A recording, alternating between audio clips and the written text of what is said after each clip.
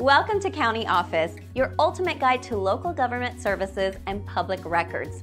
Let's get started. Which is not a responsibility of the Department of Agriculture. Let's dig into the Department of Agriculture. It's like a giant umbrella. It covers a lot of ground from farm to table. First off, it supports farmers. Think loans, grants, and resources. They're like the farmer's best pals, providing a helping hand. Next, it's all about food safety. The department inspects and ensures what we eat is safe. No one wants a side of uh oh with their meal, right? They also manage national forests and grasslands. It's like being the landlord for millions of acres of green space. They even have a role in nutrition programs. Ever heard of food stamps? That's them, helping families get the food they need.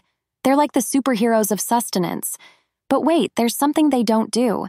It's a bit like playing one of these things is not like the others. So, what doesn't fall under their green thumbs? They aren't responsible for managing national parks. That's a whole different department's job. So, the next time you're enjoying a national park, thank the Department of the Interior. They're the park rangers' bosses.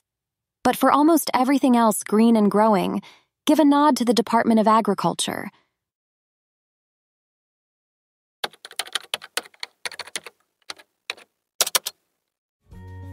To learn more, check out these links, which you can click in the description below. And feel free to comment your questions. We're here to help. Thanks for tuning in to our video. Please like and subscribe and leave a comment below. See you in the next video.